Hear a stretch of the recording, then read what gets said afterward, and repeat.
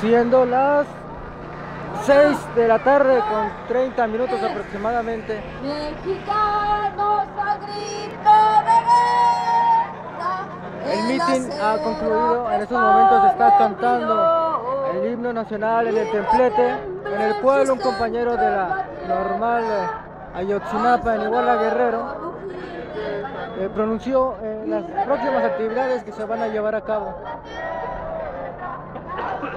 Básicamente es una movilización concentrada en tres puntos diferentes.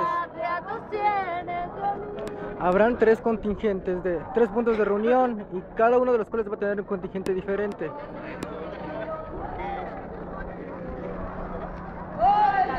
El 20 de noviembre se reunirán en, en Tlatelolco compañeros estudiantes y profesores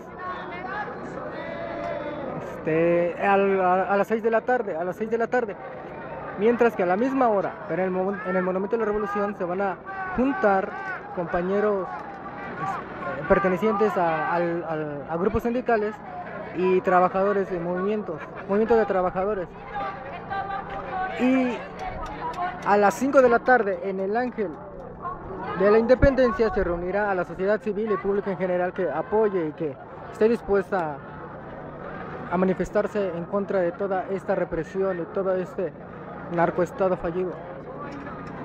La marcha se eh, tendrá como destino final el Zócalo de la Ciudad de México y ahí se a llevar a cabo otro mitin. Esto el día jueves 20 de noviembre se dejó eh, como última recomendación que se diera la máxima difusión a estas movilizaciones. Entonces yo creo que estaré eh, subiendo estos videos lo más pronto posible. Si lo ven antes del jueves, por favor denle difusión, no al video, pero sí denle difusión al mensaje y a la reunión, a los puntos de reunión que se van a, este, que se van a llevar a cabo el día jueves 20 de noviembre. Recuerden, a las 6 de la tarde en el Monumento de la Revolución y en Tlatelolco y a las 5 en el Ángel de la Independencia. Cada uno tiene sus distintos, sus distintos contingentes.